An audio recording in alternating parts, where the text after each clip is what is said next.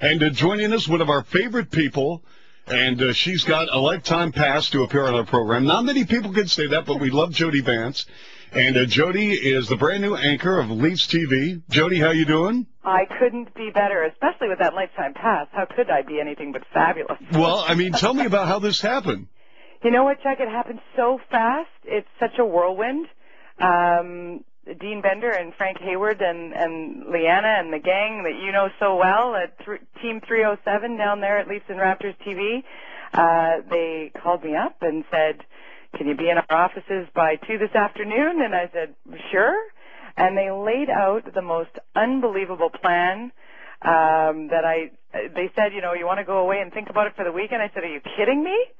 I'll tell you right now, I'm in it's just uh, it's just phenomenal. And joining the team of uh, you know Brian Duff and Greg Millen and Rick Vaive and you know just the greatest behind the scenes group, a bunch of people that I've worked with in the past. It's just so exciting.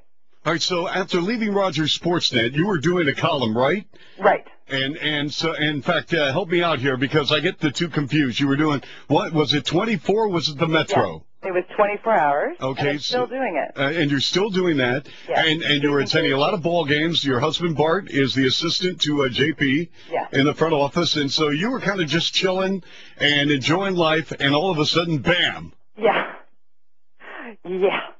Bam would be a good way to put it. it's been a, a fantastic year off. I had the uh, the great pleasure of going down to spring training for the first time for the entire two months and uh, really get into the whole Blue Jays vibe and and follow that season um, to this point. It's been great, and as you said, I've been to a lot of home games um, and a couple on the road, in fact, and it's just been exceptional.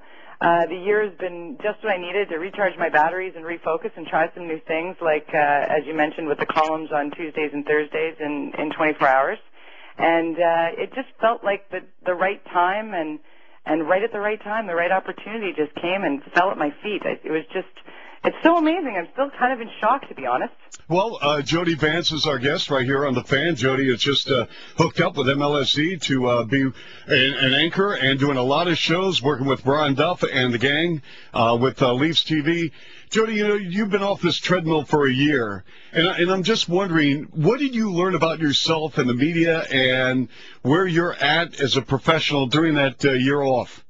You know, that's an excellent question, Chuck, because you really do. You learn a lot.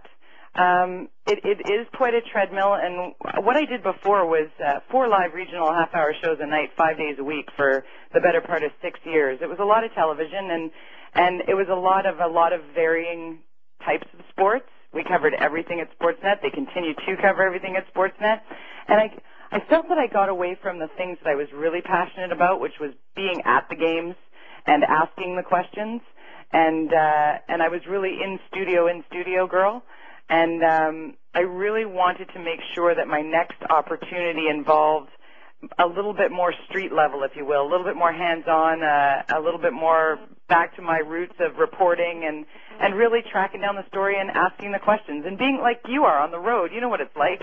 You you can't be uh, kept inside too long and and after re- recharging my batteries and whatnot, I really gotten to that point. And I'm not sure if the listeners are aware, but um, Leafs and Raptors TV are building that fantastic new studio down at the Air Canada Centre at Gate One, and it's going to be as street level and hands-on and open to the fans as, as you could possibly be with any TV studio. So it's really the perfect opportunity. Well, um, there's so much. Actually, I've, I've asked uh, Tom Anselmi to, to build a little room so I can have a cot.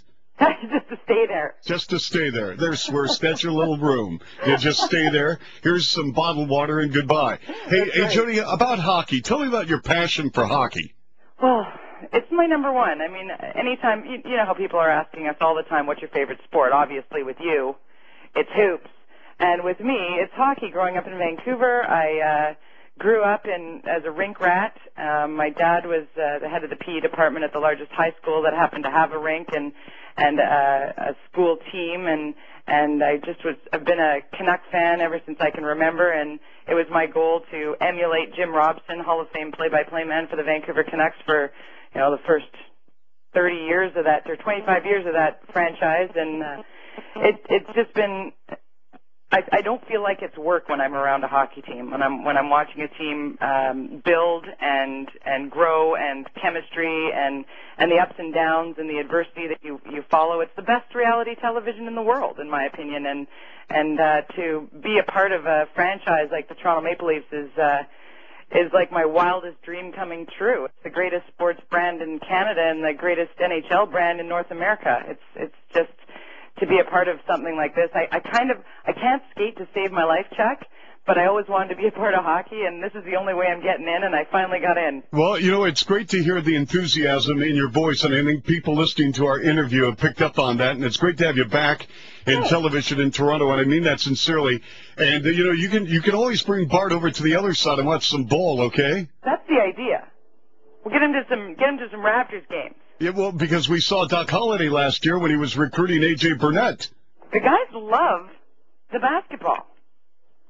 And, and there's a reason why they should love basketball. Absolutely. So, uh, but but now, when do you start? Uh, first uh, preseason home game is September 18th.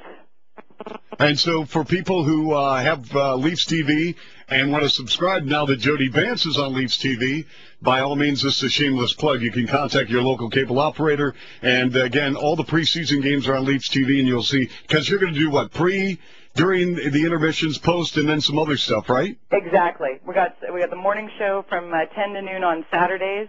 Uh, Saturdays are a busy day. We're going to do the pregame show for 90 minutes before every home game.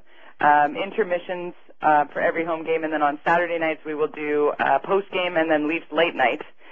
So that's a very very busy day. We'll also do Leafs Today weekly show, uh, Leafs Marquee, which is kind of an A and E in-depth interview program there's going to be just lots and lots of reason for everybody who uh, wants to know everything blue and white to go out and get themselves a little Leafs TV. Featuring Jody Vance now, a, a name that all of us can uh, recognize and affiliate ourselves with. Jody, again, congratulations, and I'm sure I'll see you down at the ACC. You bet, and I'll look forward to talking to you as the season unfolds. Okay, Jody, thank you. Jody Vance, back in television here in Toronto at 250 on the fan.